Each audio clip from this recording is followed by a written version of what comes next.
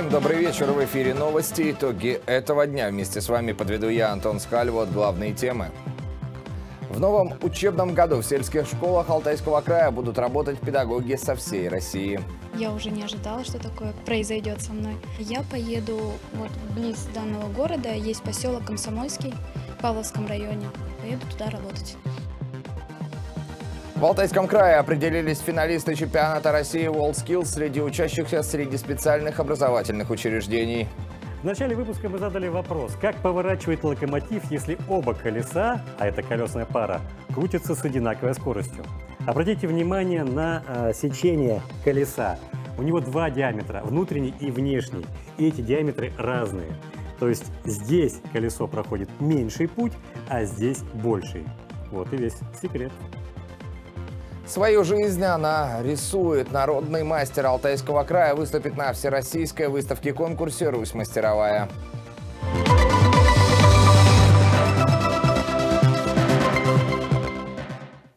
Губернатор Виктор Томенко принял участие в окружном совещании по вопросам формирования комфортной городской среды в регионах Сибири. Его в режиме видеоконференции провел полномочный представитель президента Российской Федерации в Сибирском федеральном округе Сергей Миняйло. В Алтайском крае в 2020 году на благоустройство общественных и дворовых территорий направлено 857 миллионов рублей. Первоначально по проекту формирования комфортной городской среды в регионе планировалось благоустроить 301 объект в 42 муниципальных образованиях. Это 55 общественных и 246 дворовых территорий. Однако в рамках проведения конкурсных процедур при определении подрядных организаций появились дополнительные средства на благоустройство еще 12 объектов образовалась экономия в размере 26 миллионов рублей. Мы еще раз э, отобрали 12 объектов. Таким образом, на сегодня мы идем с перевыполнением некоторых наших обязательств по количеству. Э, имеем контракты и, соответственно, подрядчиков на всех 313 объектах. 255 дворов, 58 общественных территорий. Все запланированные мероприятия, повторюсь еще раз, по благоустройству территории, как и в предыдущие, впрочем, три года, будут выполнены нами в полном объеме в необходимые сроки. И данный вопрос я держу на личном контроле. Почти 200 тысяч семей края получили сертификат на материнский капитал. Большая часть жителей региона направили полученные средства на улучшение жилищных условий. Это сделали почти 150 тысяч семей. А также на погашение ипотеки. Вкладывают маткапиталы в обучение детей. В краевом отделении Пенсионного фонда сообщают, в регионе стартовала проактивная выдача сертификатов на мат-капитал. Это означает, что выплата оформляется автоматически. Сведения о появлении ребенка, дающего право на материнский капитал, теперь поступают в Пенсионный фонд России из ЗАГСа.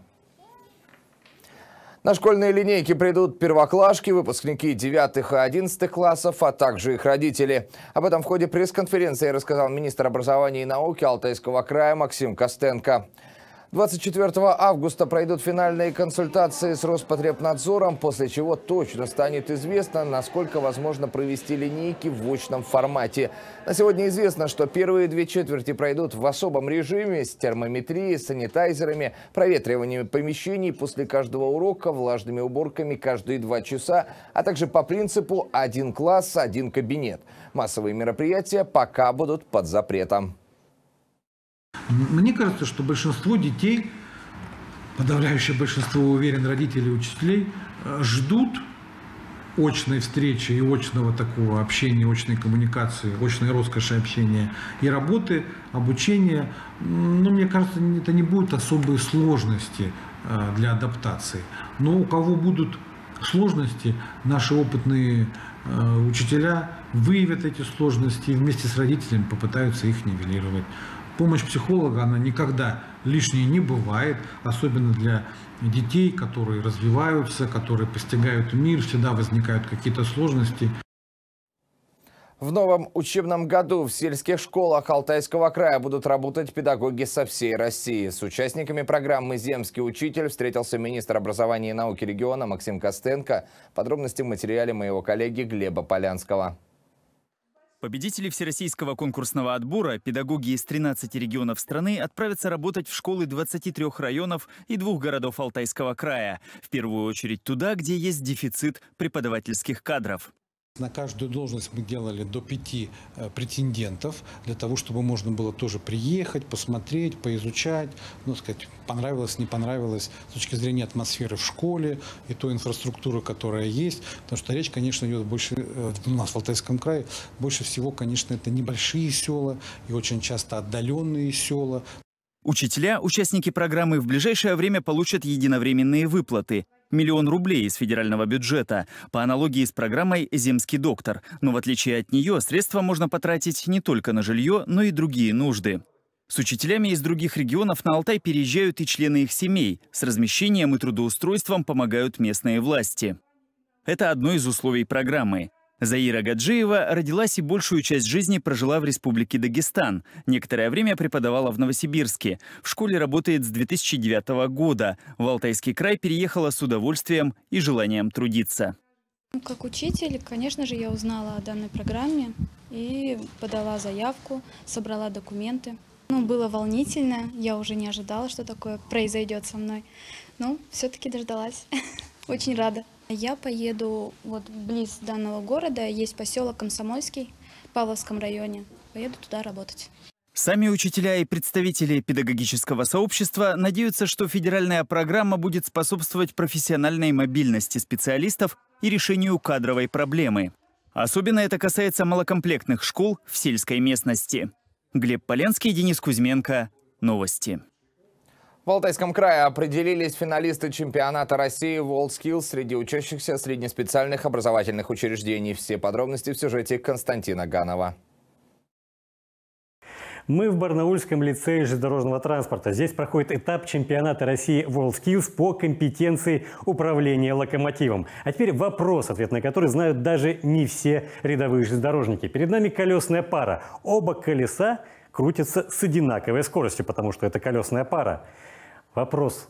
Как поворачивает локомотив? Ответ в конце выпуска.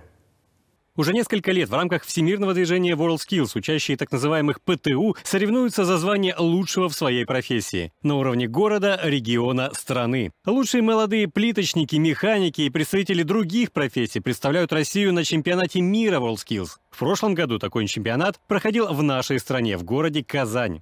В этом году в связи с пандемией региональные этапы чемпионата России проводятся онлайн. Несколько камер внимательно следят за испытуемым, а эксперты по ту сторону мониторов фиксируют каждый его шаг.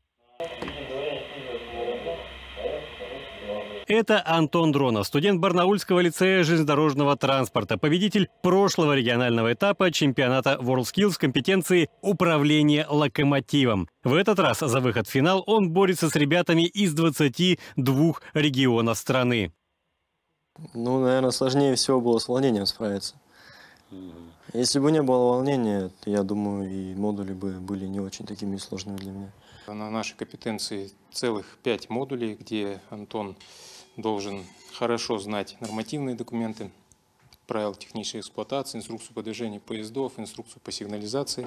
Это один из сложнейших модулей для испытуемых. Имитация пневматической тормозной системы железнодорожного состава. Множество датчиков, предохранителей, трубок и прочих агрегатов, название которых простому человеку ничего не скажет. А этот тренажер, похожий на компьютерную игру, имитирует вагон локомотива. При этом сам тренажер запрограммирован на имитацию любых погодных и технических условий, вплоть до урагана и исхода с рельсов.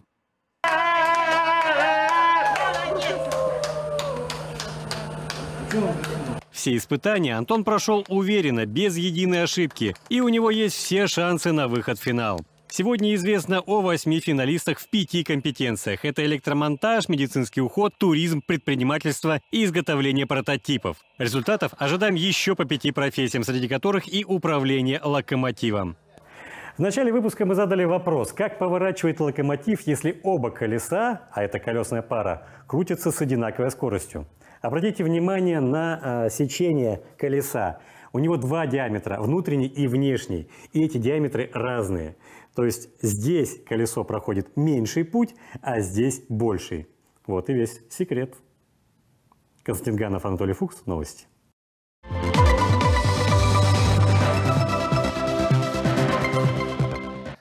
Первое административное наказание за проведение массовых мероприятий, а именно вечеринок с участием большого количества людей во время действий особых запретов и ограничений впервые в Алтайском крае привлечен клуб 4 икса.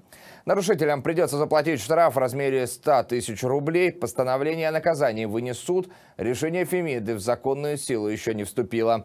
И к другим темам. Депутат Алтайского краевого законодательного собрания от партии КПРФ Владимир Попов считает, что московская квартира его супруги стоимостью 65 миллионов рублей обращена в доход государства неправомерно. Об этом он заявил на пресс-конференции представителям региональных СМИ. 65 миллионов рублей. Столько стоила московская квартира, которую несколько лет назад приобрела супруга депутата. Однако задекларированный совокупный доход семьи за предыдущие три года не превышал 3 миллионов. На это несоответствие обратили внимание в прокуратуре. При этом обстоятельства покупки жилья действительно запутаны. Как утверждает сам Попов, первый взнос в размере 35 миллионов рублей взяли взаймы у предприятия, чьим учредителем является жена депутата. Остальную сумму оформили в ипотеку в одном из банков. Год исправно платили по кредиту. После этого семья Поповых решила досрочно погасить ипотеку. Одну часть данной квартиры выкупила старшая сестра, ну, как бы у, у, у своей мамы. Э, вторую часть ипотеки у нас есть определенный займ, который позволил нам погасить. Для чего мы это сделали? Потому что нам было необходимо приобрести второе жилье в городе Москве. С этой целью мы решили, что мы погасим этот э, кредитный ресурс. Иск об изъятии квартиры в доход государства рассмотрел Павловский районный суд. Местная инстанция встала на сторону депутата-коммуниста и экс-главы Павловского района – Краевой же суд отменил это решение и постановил квартиру изъять. Юристы семьи Поповых намерены оспаривать это решение по формальным признакам, как несоответствующее действующему законодательству. За три предыдущих года до приобретения недвижимости вопрос исследован был и исчерпан, а э, суд предлагает расширить круг проверки и проверить, каким образом были погашены заемные обязательства – так вот, законом такое право не предоставлено. Напомним, что Владимир Попов несколько раз становился ньюсмейкером для краевых и федеральных СМИ, когда приглашал на дни рождения своих родственников и дни села в Павловском районе российских и мировых звезд. Среди них Александр Маршал, Бонни М. и Иван Ургант. Однажды Попов даже заявил, что Сиси Кэтч, его родная сестра, по словам депутата от КПРФ, со многими из этих звезд его связывают обычные дружеские отношения. Я не имею отношения ни к бюджетным деньгам, не имею отношения ни к, ни к каким э, коррупционным действиям.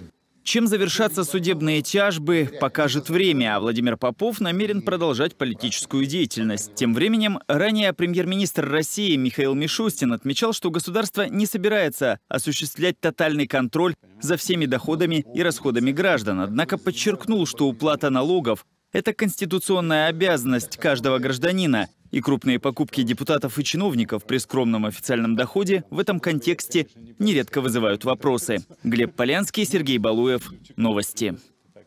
В камне на оби трое детей попали в больницу с алкогольным отравлением. Сейчас девочка 14 лет и мальчики 11 и 12 лет, по словам врачей Каменской центральной районной больницы, в удовлетворительном состоянии.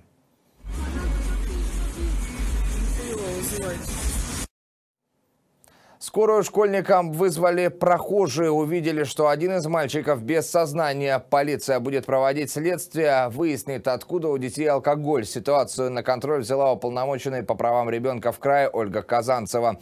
Она заявила, для предотвращения подобных случаев создадут межведомственную комиссию, которая выработает меры профилактики могут касаться усиления, расширения количества специалистов, которые будут вовлечены, а, дополнения каких-то специалистов в профилактическую работу, изменения интенсивности проведения реабилитации. Завтра будем уточнять про то, а, проводилась ли работа с несовершеннолетними. Если проводилась, то какая? Достаточная ли она была? Если недостаточная, то а, не проводилась. Она будет начата, работа со специалистами и обязательно с семьями.